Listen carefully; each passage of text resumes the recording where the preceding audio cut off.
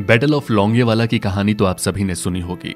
Film border में सनी देओल ने जिस महान व्यक्ति का किरदार निभाया था, वो हीरो थे महावीर चक्र विजेता ब्रिगेडियर कुलदीप सिंह चांदपुरी। लेकिन अब कुलदीप सिंह चांदपुरी हमारे बीच नहीं रहे। नमस्कार, स्वागत है आप सभी का हमारे इस चैनल पर।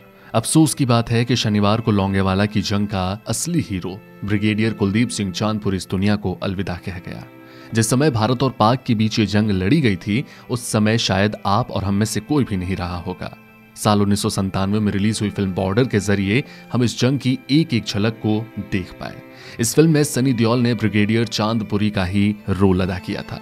जो जंग ब्रिगेडियर चांदपुर ने लड़ी थी, वो काफ़ी चुनौतीपूर्ण थी।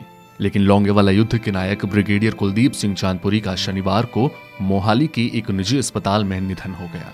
वो 78 वर्ष के थे। टैंकों के खिलाफ वीरता से खड़े होने और दुश्मन को पीछे हटने के लिए मजबूर करने के लिए उन्हें महावीर चक्र से सम्मानित किया गया था। दरअसल 1971 में भारत पाकिस्तान युद्ध के दौरान मेजर रहे चांदपुरी ने राजस्थान के लोंगेवाला की प्रसिद्ध लड़ाई में महज 100 जवानों के साथ पाकिस्तानी टैंकों के हमले का डट सामना किया था और 2000 पाक सैनिकों को वहाँ से खदेड़ दिया था। ब्रिगेडियर चांदपुरी और सेना के जवानों की जीत के बाद बॉलीवुड ब्लॉकबस्टर फ़िल्म बॉर्डर बनाई गई, जिसे उन्नीस में रिलीज़ किया गया था और चांदपुरी का किरदार सनी देओल ने निभाया था। लेकिन आज ये महान व्यक्ति, या महान सैनिक हमारे बीच नहीं रहे। अठहत्तर वर्ष की उम्र में उनका निधन हो गया।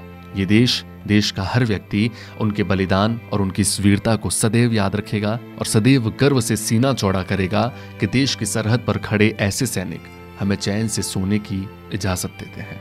ब्रिगेडियर कुलदीप सिंह चांदपुरी की वीरता हमेशा इस देश के लिए आदर्श रही है और आगे भी रहेगी। फ़िलहाल इस वीडियो में इतना ही।